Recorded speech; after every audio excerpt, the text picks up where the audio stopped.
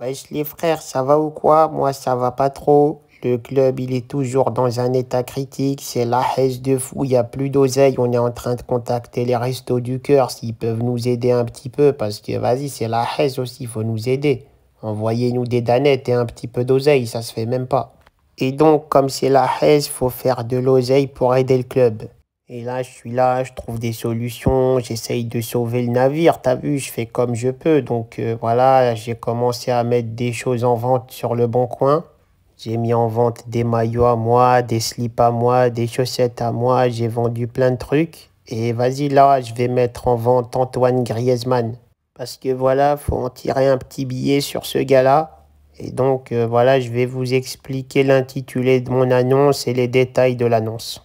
Donc voilà, chers internautes, chers futurs clients, chers futurs collègues et collaborateurs, je vends un Antoine Griezmann tout neuf.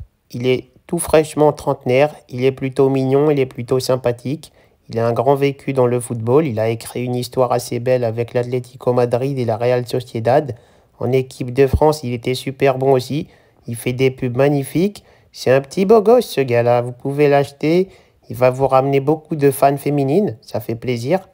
En d'autres termes, il va vous ramener de la meuf sale. Ça veut dire vous allez kiffer vos races. Il y aura de la meuf de fou dans tous vos stades.